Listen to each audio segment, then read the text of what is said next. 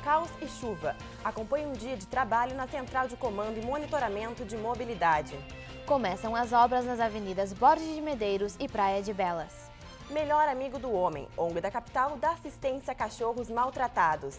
Outubro Rosa, o mês foi de conscientização e de alerta à prevenção ao câncer de mama. Está no ar o Editorial J na TV.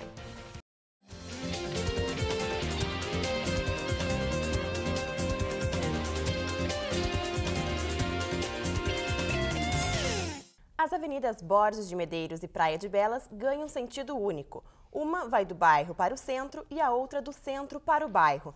O trecho tem 2 km e 200 metros de extensão.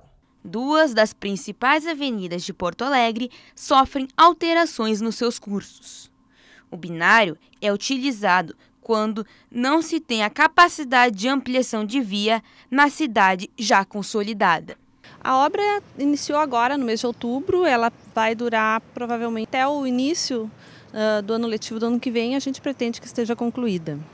A Avenida Borges de Medeiros, que hoje tem dois sentidos, contará apenas com o sentido centro-bairro. Enquanto a Avenida Praia de Belas terá apenas sentido bairro-centro. A população está em dúvida sobre a melhoria do trânsito na região. Em princípio, não deve melhorar muito.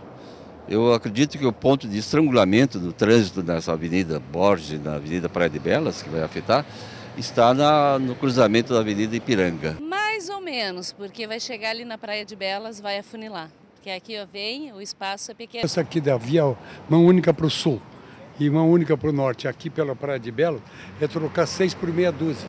Para o comerciante local, as obras ainda não afetaram o trânsito, mas podem afetar os negócios. Olha, a previsão do início dos trabalhos que foi noticiada é que eles iam reduzir o mínimo transtorno com o trânsito. Então, por enquanto, não.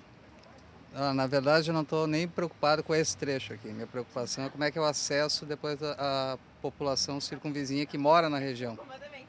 Aqui, então, seria a, a ponta lá de acesso do, tanto para Borges quanto para Praia de Belas. Essa que eu vejo como maior preocupação. O trânsito em Porto Alegre está cada vez mais complicado. O número de carros na rua aumentou. A situação complica ainda mais em dias de chuva.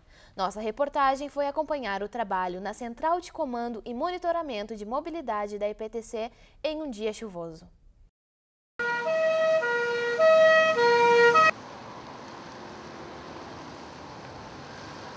Tá bem caótico, né? Não tem condições, não tem condições, não dá mais para andar em Porto Alegre. É caótico, né? Tá muito ruim. Dias de chuva, final de tarde e início da manhã é caótico. Bastante caótico, né?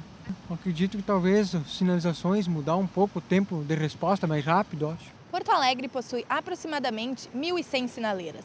Cerca de 95% da rede semafórica é controlada pela Central de Controle e Monitoramento da Mobilidade. 101 câmeras também estão espalhadas pela capital para ajudar no controle do tráfego. Entre elas, esta aqui, que fica entre a Avenida Ipiranga e a Avenida Érico Veríssimo.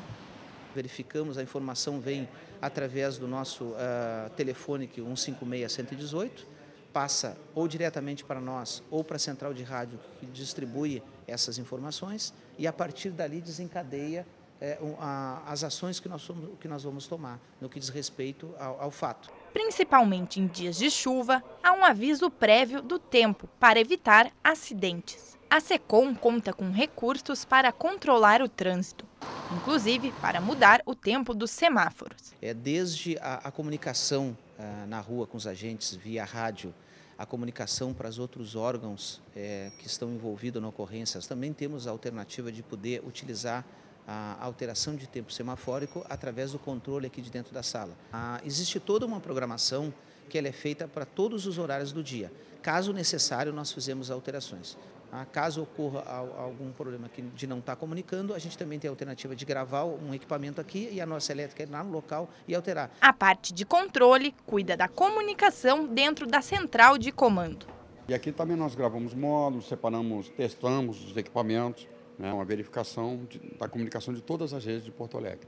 A demanda em dias de chuva aumenta entre 70% e 90% do serviço normal. A central de rádio é responsável por comunicar problemas nas sinaleiras, no trânsito e também no transporte.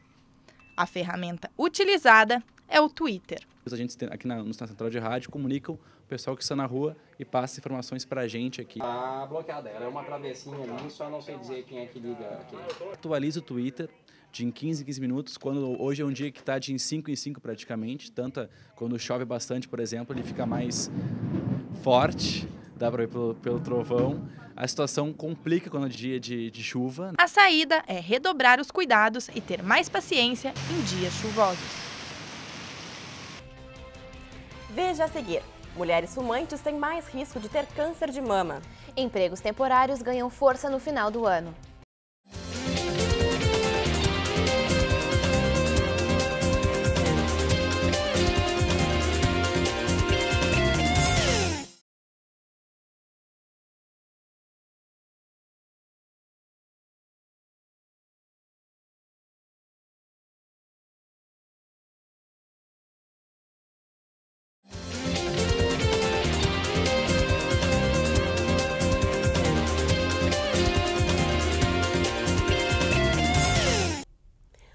Duelo de cores. O outubro se pinta de rosa para evitar o preto do luto. É preciso aumentar a prevenção contra uma das principais causas de óbito de mulheres no estado. Outubro Rosa é um evento para conscientizar sobre o câncer de mama. Segundo o Instituto Nacional do Câncer, a gaúcha é a segunda maior vítima no Brasil devido à falta de prevenção e de conhecimento sobre o assunto. Tu faz alguma coisa pra, pela prevenção do câncer de mama?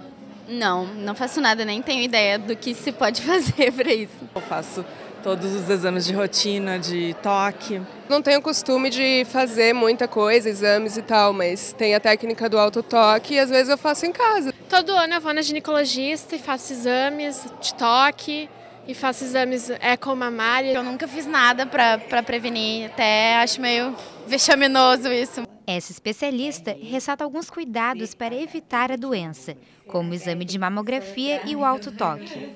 Ela ainda destaca a importância de hábitos saudáveis. De alguma maneira, o álcool, né, a ingestão diária de álcool está associada com um aumento do câncer de mama.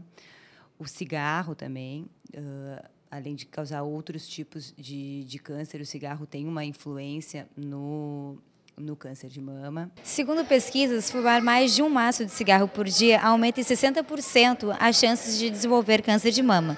Diante disso, você pode seguir as dicas para parar de fumar. Defina um dia para parar de fumar. Anote a data e se planeje. Beba muita água. Ela ajudará a eliminar a nicotina e outras substâncias químicas do corpo. Evite álcool e café. Os dois aumentam a vontade de fumar. Liste os motivos para querer largar o fumo. Isso ajudará nos momentos que resistir ao cigarro parece impossível. Faça exercícios regularmente. Eles ajudam a liberar os mesmos neurotransmissores associados ao bem-estar da mesma forma que o cigarro. Este e outros tipos de cuidados salvaram a vida desta aposentada. Mas mesmo largando o vício, ela paga um alto preço por fumar desde a adolescência. Eu estraguei tanto meu pulmão que eu tive eu tive em coma em 2013 ainda tive uma pneumonia, fiquei 16 dias em coma, me salvei por milagre também, eu acho. Fiquei muito mal. Eu não aconselho ninguém a fumar. Coisa que eu mais me arrependo na vida. Podia ter uma velhice maravilhosa. Estraguei tudo, né, com isso. Papai Noel camarada para o trabalhador. A proximidade do Natal garante um aumento no número de empregos temporários no Rio Grande do Sul. Final do ano oferece novas oportunidades para quem quer um emprego temporário. Giovanni Alves, atual gerente da gangue Guatemi, começou a trabalhar na rede de lojas em uma vaga temporária. Geralmente, em janeiro, com baixas vendas assim, a gente sempre tem um número X de pessoas que ficam por méritos. Eu sou um caso exemplo vivo disso, né? Eu comecei como estoquista na gangue, tipo lá em Caxias ainda, aí como estoque apoio, aí virei estoquista efetivo, depois passei para o caixa, virei gerente, agora, né, estou em Porto Alegre. Este vendedor também teve a oportunidade de uma vaga temporária e seguiu no emprego após o término do período. Eu fiz um, dois dias de teste lá no Praia de Belas para aprender como se mexe no estoque e tudo mais. Eu era estoquista. E daí desde lá eu fiquei aqui oito meses no estoque trabalhando, fui contratado, fui efetivado, né? Daí depois de oito meses eu consegui uma vaga na venda para trabalhar na venda aqui embaixo no salão, que é bem legal, onde eu queria mais, que era o meu objetivo, sempre crescer aqui na empresa. E como eles dão essa oportunidade, daí eu ah, vou batalhar por isso, né? final do ano está chegando e com ele surgem os empregos temporários. Os interessados devem procurar uma agência FGTAS ou Cine de Porto Alegre. Para concorrer às vagas, é preciso ter mais de 16 anos e portar CPF e carteira de trabalho. Com a proximidade do verão, né, nós conseguimos entrar vagas das mais diversas áreas para serviços temporários. Né? A chegada do Natal, então elas são vagas que em média né, a contratação é por 90 dias. Muitos desses trabalhadores com essas vagas, eles, eles é, têm perspectiva de se manterem no emprego de acordo com o seu envolvimento com a política pública da empresa a qual estão prestando serviço. É, a gente tem relatos de muitos trabalhadores que permanecem né, após um período de uma vaga temporária, passa a ser uma vaga definitiva. Uma relação que ultrapassa os séculos. Apesar de casos revoltantes de violência, muita gente mantém a mais pura amizade entre as diferentes espécies. Os maus tratos aos cachorros são muito comuns, mesmo ele sendo o melhor amigo do homem. Infelizmente, em Porto Alegre existem muitos criadores irregulares.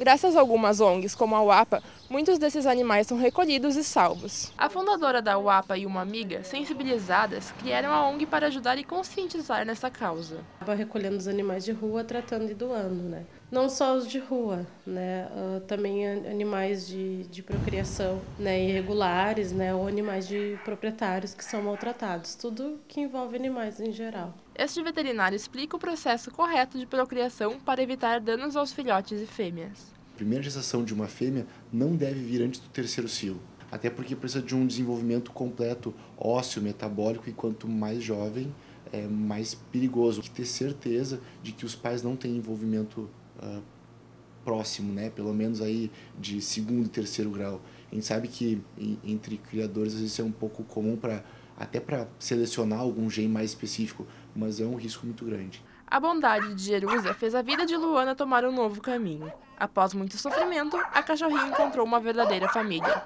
Ai, o amor não tem igual. Não tem, ela é muito carinhosa. Ela é paixão. Todas elas são, eu sou apaixonada, né? Mas ela sim, ela tem um amor assim por mim que parece assim um agradecimento, sabe? A recompensa maior é isso aí. O programa de hoje fica por aqui. Não deixe de acompanhar no nosso site www.sulfamecos.net J. Até o próximo programa. Tchau!